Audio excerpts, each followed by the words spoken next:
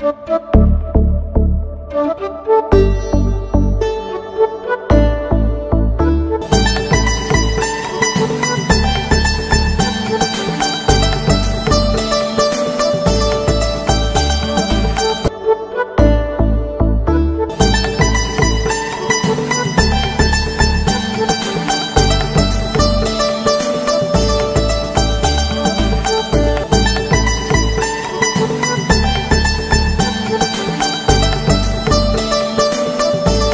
பகவத் machine சார்பாக எல்லாருக்கும் நன்றி தெரிவிச்சுக்கிறேன்.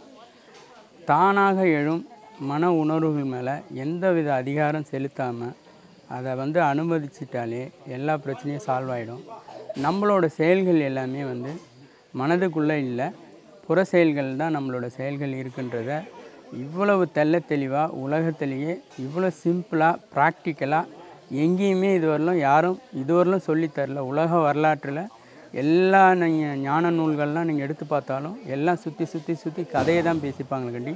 யாருமே உண்மையை பேசலை. முதல் முதலாக இந்த உலகத்துக்கு கிடைச்ச ஒரு பொக்கிஷம். புத்தருக்கு அடுத்தது பார்த்திங்கன்னா பகவத் ஐயா தான் மிகப்பெரிய பொக்கிஷம்.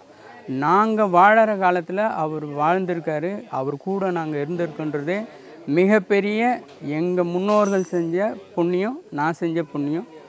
இவர் இருக்கும் போதே இவர் கூடவே இருந்து இந்த ஞானத்தை ரொம்ப சிம்பிளிஃபை பண்ணி இந்த ஞானத்துக்கு வந்து நாங்கள் கற்றுக்கிறதுக்கு வந்து நாங்கள் பெரிய புண்ணியம் பண்ணியிருக்கணும். நாற்பது வருட தேடுதலில் வந்து கிடைச்ச ஒரு விஷயத்த இந்த உலக மக்களுக்கு வந்து ஏன்னா அவரா மாதிரி எவ்வளோ பேர் கஷ்டப்பட்டு கோடான கோடி பேர் வந்து கஷ்டப்பட்டு நிறைய பேர் அடையாமே போயிருக்காங்க.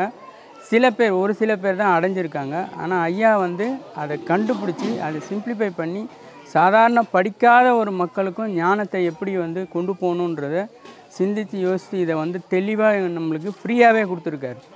அது எப்படி சொல்கிறது அதாவது இங்கே எல்லா அமைப்புகளும் பார்த்திங்கன்னா எல்லாருமே வந்து பண மோட்டிவில் தான் இருப்பாங்க.